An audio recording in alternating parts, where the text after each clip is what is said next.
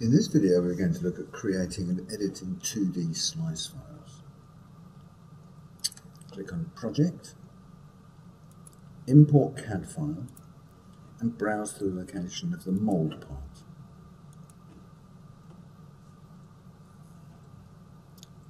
When the part has been opened, click Import to finish.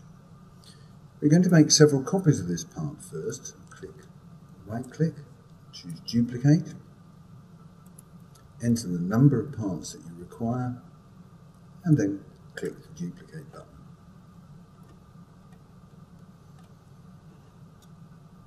Working with multiple parts, it's often easiest to create a group.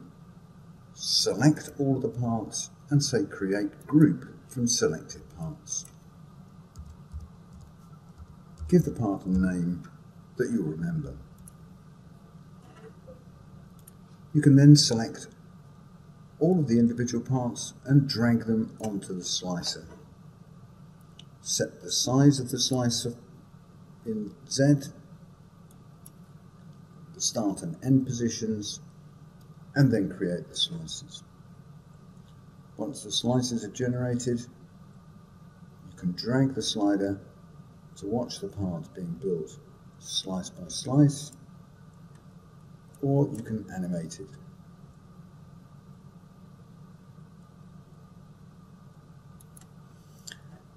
For further control, you can add your own hatching to the inside of the slice. Select Create Filling, choose the hatching you want, the spacing on the hatches, and hit OK.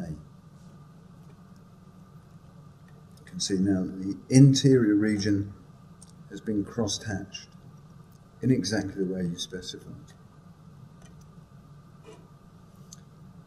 Another useful function that you can achieve with uh, slicing the part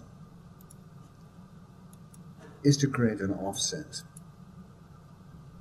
Again, we're going to add a part, this time a surface structure.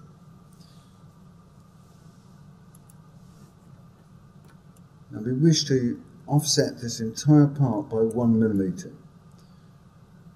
Not only would that be very time consuming, but also it would give us a very large amount of data to work with. Instead, we can do this purely in 2D. Drag the plant onto the slicing tool, again, set thickness of the slices.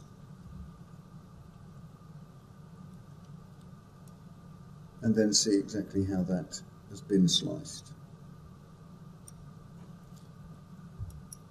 Can come to the extras menu and say create offset. In this case we're going to use an outward offset of one millimeter. This will take a few seconds but it's still considerably faster than it would be if you try to offset a complete 3D model. When the offsetting is completed, right click to remove the original slices and now you can view the new slice set which you can output in whatever format best suits the machine you're actually going to be using.